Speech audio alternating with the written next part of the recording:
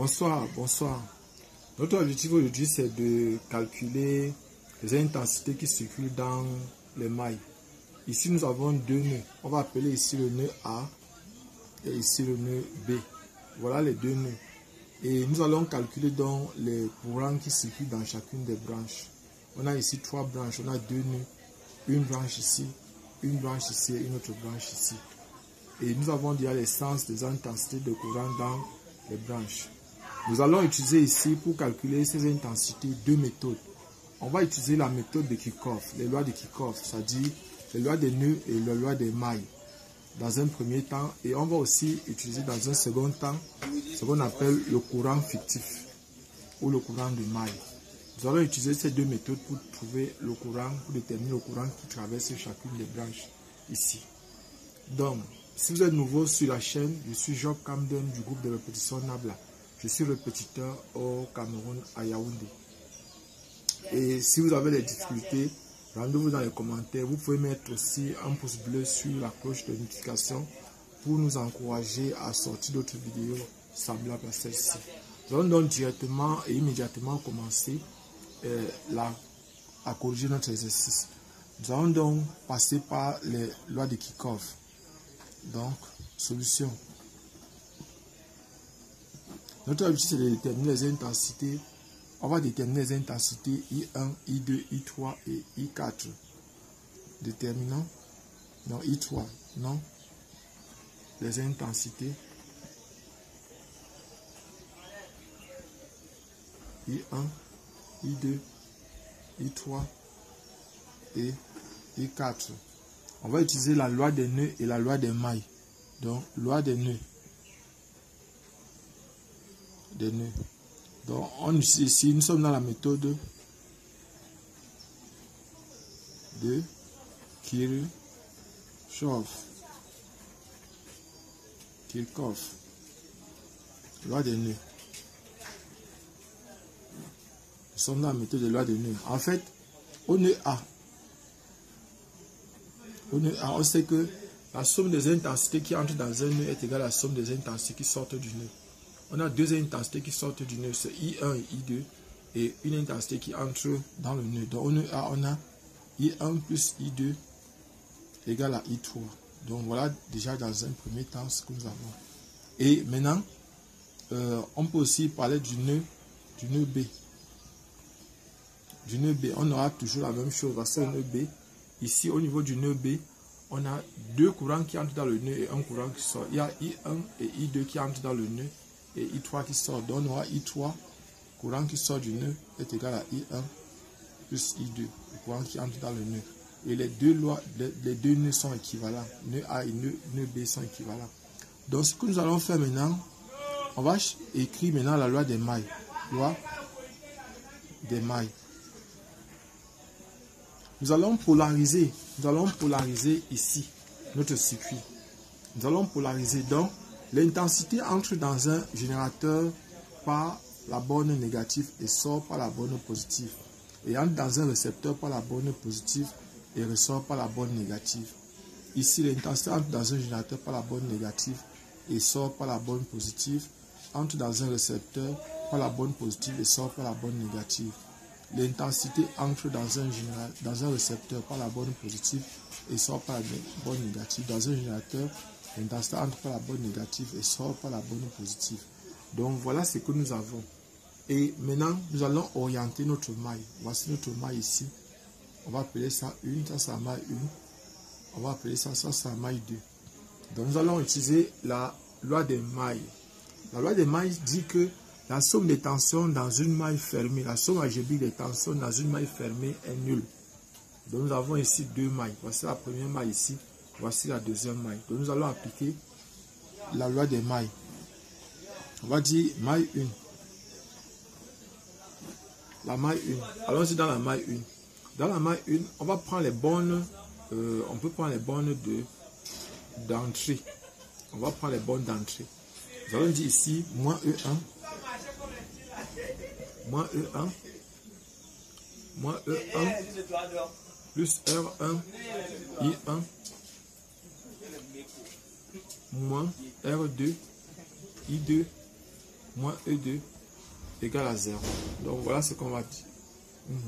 Ça c'est plan maille 1. Donc on a dit ici, moins on a donc dit les bonnes entrées. Donc ça tourne comme ça vient.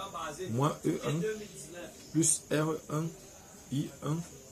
Maintenant, moins R2 I2 moins E2 égale à 0. On va prendre la deuxième maille. Maille 2. Maille 2. Nous sommes sur la maille 2. Donc, au niveau de la maille 2, on va dire que voici la maille 2 ici. Voici la maille 2.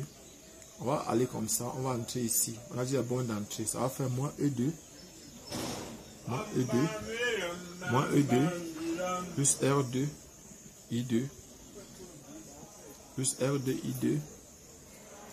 Moins E3.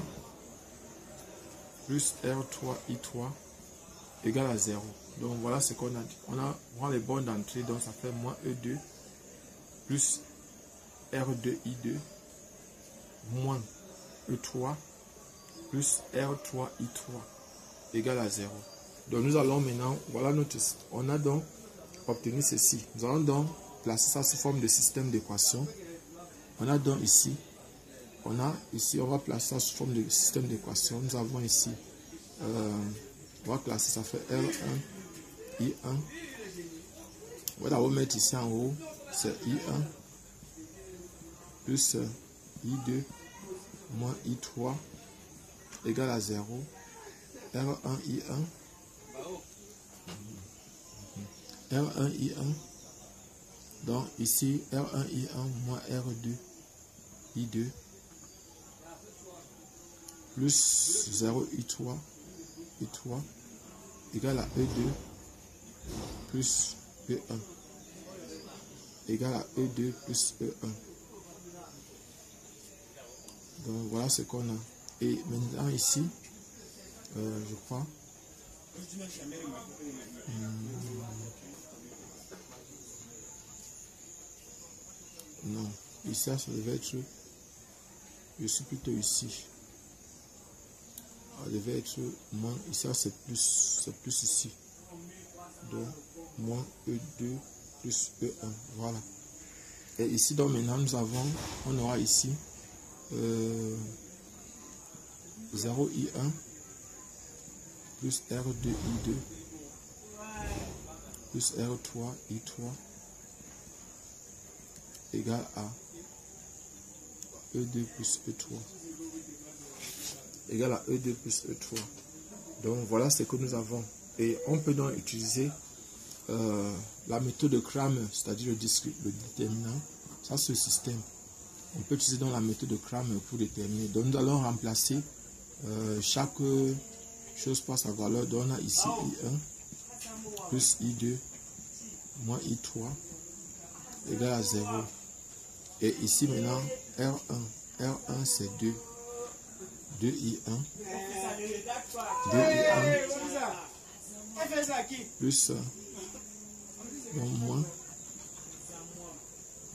I2 moins I2 euh, plus 0 I3 égale à E1 moins E2.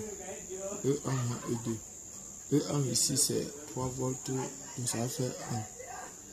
Ça fait 3 moins 2 qui donne 1.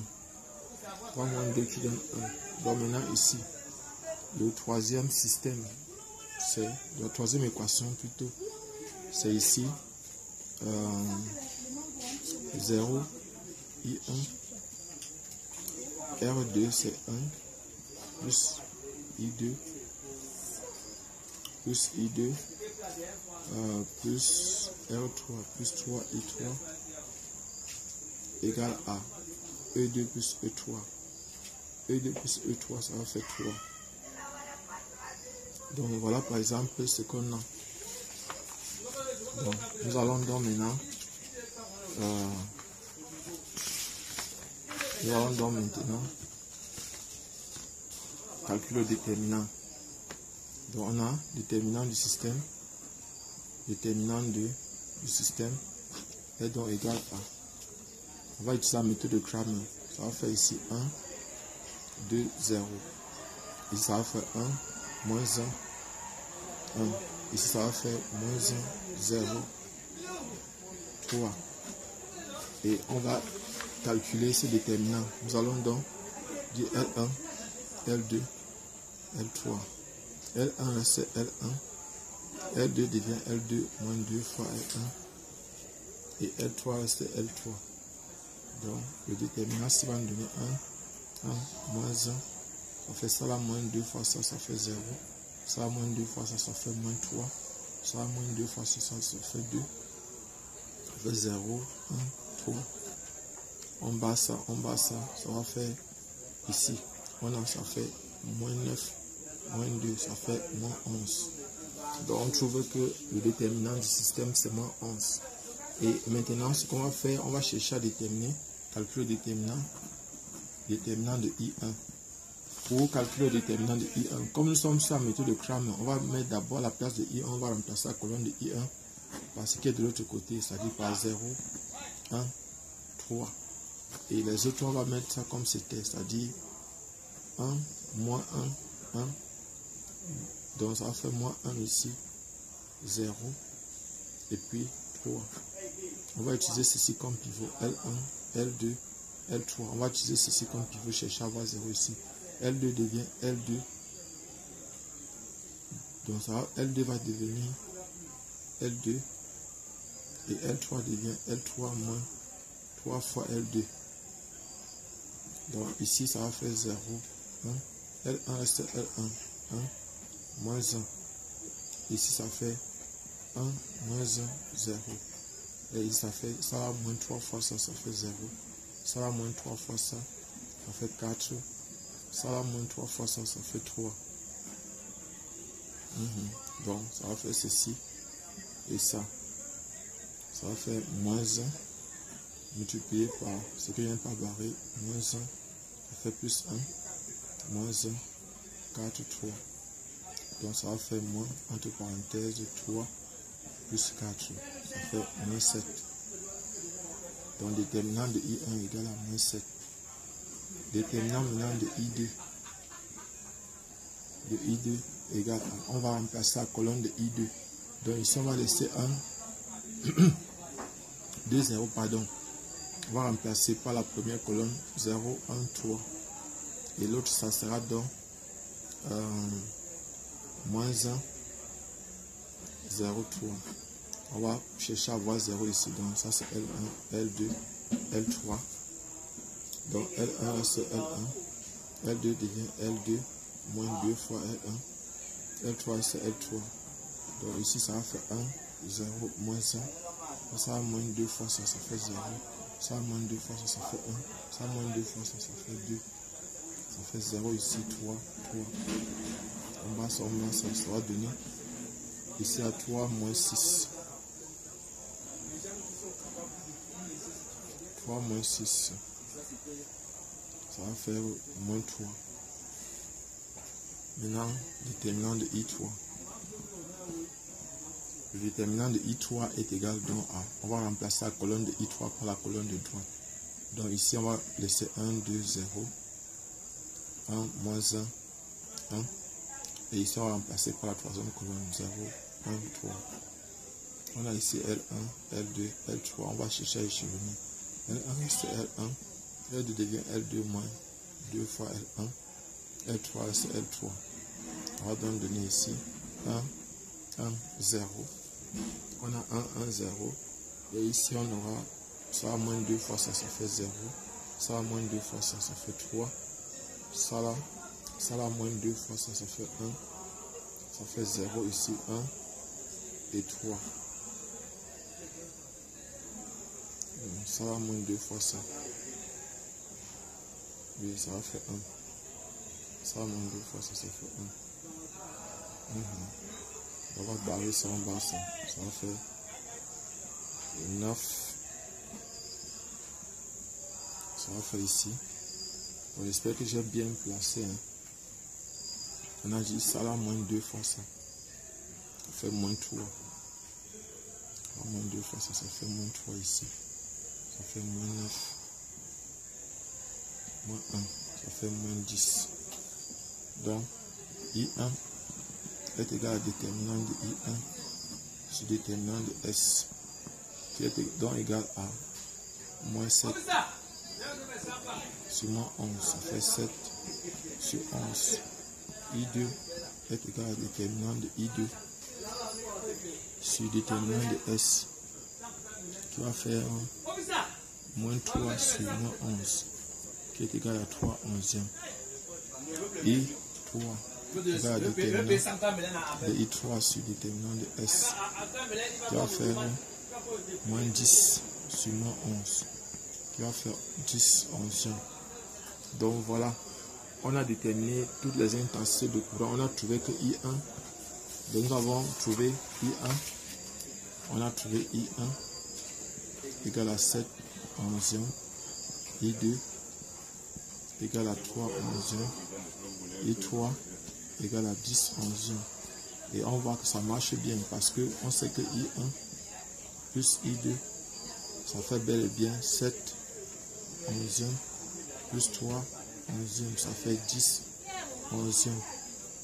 10 onzièmes. Donc on voit bien que, en fait, on voit bien que ici, euh, ça a bien marché. Donc ce que nous allons faire dans la suite pour l'exercice, on va faire une autre vidéo tout à l'heure où on va vous expliquer comment maintenant utiliser la méthode du courant fictif. Je suis Jacques Camden du groupe de répétition Nabla. Abonnez-vous et cliquez sur la cloche de notification. Merci.